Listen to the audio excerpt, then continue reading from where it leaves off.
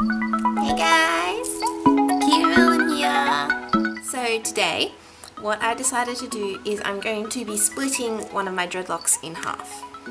Now, the reason that I'm doing this is because it's grown really thick and really large and it's pulling on my scalp and it's just really uncomfortable when I have my hair up and when I have my hair down. There are many ways to split a dreadlock. One of them, you can simply just take your thick dreadlock and cut up through the middle of it and then you'll have two separate dreadlocks. I do not recommend doing this because the internal structure of dreadlocks is different to that of normal hair. Normal hair, all the hairs sit up and down, perfectly straight, no issues.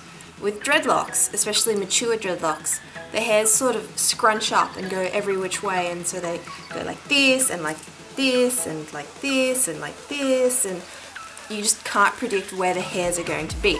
So as you're snipping up the dread, you are actually snipping along all of the lengths of hair from the root to the tip. So instead of having a strong held together dreadlock full of hair connected in your root and in your tip, you'll have a dreadlock with some roots connected to the tip but a lot of them won't be and then you're compromising the internal structure of your dreadlock and it is very likely that it will not hold its shape, it will not keep itself together especially if it's not mature enough and it'll just fall out and you'll have no hair left in that spot. So that's a really big, big scare factor. Don't want to do that. The other option is to just deal with it, which I have been doing for several months, kind of sick of it. So the final and most time consuming option, but in my opinion, the best option is to unpick it, comb it out, give it a good conditioning treatment, leave it as normal hair for a couple of days. I leave mine for about one or two. I have split dreads before using this method. So yeah, just unpick them, go all the way up to the root, Condition them with a deep conditioning treatment just to make sure that the structural integrity of the hair itself is good. And then leave it be, keep it plaited up so in case you don't want the loose hairs getting caught in any of your other dreadlocks. And then re-dreadlocking it up as two separate dreadlocks or in three, four, however many you want to split the single one into. Uh, it has its cons because it means that you're essentially starting the dreadlock again from scratch and if you've had dreadlocks for a very long time, they mature over time and they become more knotted up and more solid. So if you've had yours in for a year or two, you basically just have to start again. And that sucks. But compared to the risk of potentially losing an entire dreadlock, yeah, I'm willing to start again. I have split one dreadlock before. It had split at the root so instead of the root coming down and then dreadlocked down here, it had split. So it had one bit of root dreadlocked up here and then one bit of root dreadlocked up here and then the rest of it was dreadlocked down here. But the bit at the root, so this is my skull, the bit at the root had a massive gap in it.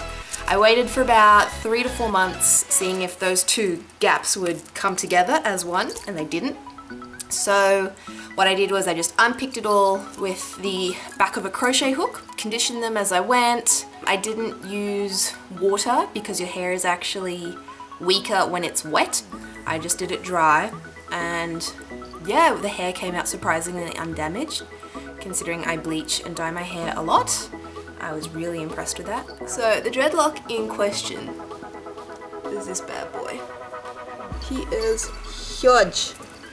He's really heavy. You can see up here he has a massive root. Pulls on my head, on my scalp quite a bit and especially with my clip-in ears, these are my favorite ones to wear and because they clip in like so, they pull exactly on this spot and it's really quite painful. So I'm just going to split it. The method I used to get my dreadlocks was a combination of back combing just to get the roots started, then crocheting and twist and rip to do the main body of them, and then for about four months, they've just been neglect. I haven't touched them except for dyeing and just splitting out the roots, just pulling them apart to make sure they don't get, grow into combo dreadlocks. And that's about it. I just leave them, let them do their own thing. If they have massive loops, then I'll sometimes just get a crochet hook and just pull them back into line. But I usually leave them for a couple months if they haven't come back together by then, sorted out their situation then I just put them back together myself. Somebody's gotta save them. One thing to keep in mind when you are splitting your dreadlocks, there will be a lot of hair fall out from the actual lock itself. Please do not be freaked out. This is entirely natural. You lose hair every day when you have normal hair, when you brush your hair and you have all those little bits of hair in your brush. Completely natural. Happens the same way with dreadlocked hair, except instead of the hair falling out and just scattering amongst the universe, it is trapped within the dreadlock itself, which is how the dreadlocks get thicker and knot up and do their thing. So when you comb them out and when you split them, there will be a large amount of fallout from that, but it's completely natural and it's hair that would have otherwise fallen out anyway. So please don't be stressed. When you re-dreadlock the hairs as well, the two dreadlocks will be thinner than the original one dreadlock. This is due to fallout. It's completely natural. Given time, the dreadlock will thicken up again and you'll be back in business. Okay, I'm gonna go get all my stuff and I will be right back. Okay, so tools for today's project is a crochet hook. This one is 0.75 millimeters. It is teeny tiny, it's got a teeny tiny head. And that's really good because it gets in and amongst all the teeny tiny hooks of the loops, but I'm actually going to be using the back of it. Looks like this blunt metal stick thing. For To get into the tighter ones I will use the front but mainly I'll just be pulling them apart with this. The conditioning treatment I'm going to be using is NAC Ultimate Styling Protein. Yeah. Comes in this really cute blue bottle. Squirts out here. It smells really nice. I got this in a freebie grab bag sort of thing. I don't know where you'd buy it from normally, but it works for splitting dreadlocks because it protects against frizz, it repairs damage, looks after colour, which is especially good for my hair. For this, I'm going to be taking off my ears simply because they will get in the way and I have got a long process of splitting ahead of me. Final thing you will need, movies, TV shows, YouTube, something to watch because you're going to be here for a couple of hours. Okay, this is the tip here You can see it's loose but sort of held together on the inside. What I'm going to do is just take the end, the blunt end of my crochet hook, push it through near the tip and gently pull it down and apart. I'm going to do that again, just sort of wiggle it a little bit, separate it with my fingers, see all the little knots inside there. Go in with the finer end now just sort of pull them out and down. And you don't want to pull too hard that you break the hair unnecessarily. Be firm but gentle, I would say. If you can, try and get as much done with your fingers because they are much softer on your hair. And I prefer to do this dry, so without water or conditioner eh, for as long as I can, because as I said before, water compromises the strength of hair. Hair's much weaker when it's wet. And I'm trying to minimize breakage as much as possible.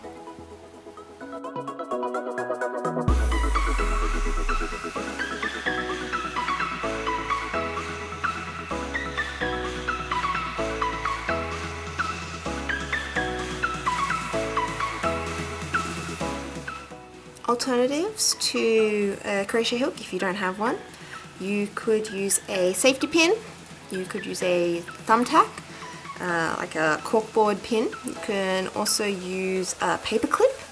Just be careful because the blunt ends of the paper clip could break the hair as you're pushing it in. You can also use like a fine, to, uh, fine toothed brush, like a lice brush if you have one, but it has to be metal. I wouldn't recommend using plastic because of the force, the repeated force that you'll put on it, it will just likely break. Get a proper metal brush you plan on doing this or just a crochet hook. They're really cheap, you can get them at craft stores. If you don't have a craft store near you, you can just buy it online.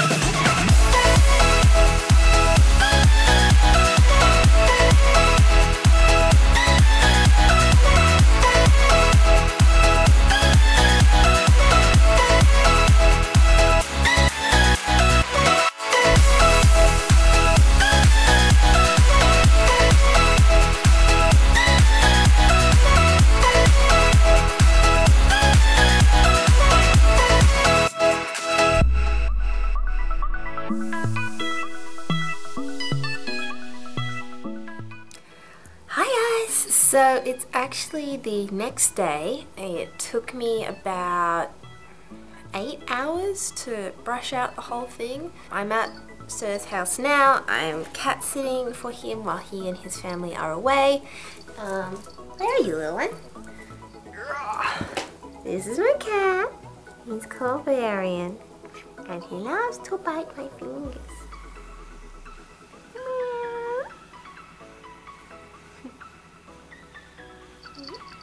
You see him in the background, don't mind him.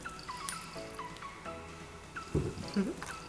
but yeah, so I'll take out my ears now and I'll show you the progress that I made. So here it is.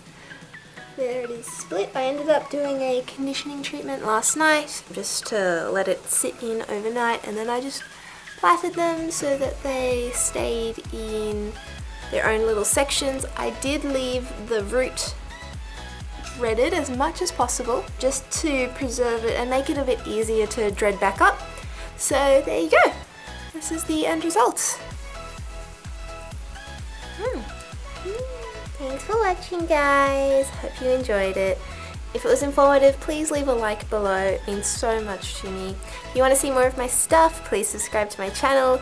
I put out new videos really regularly. Um, yeah, hope you have an awesome day. Say goodbye, Varian. You too, baby boy. Mm.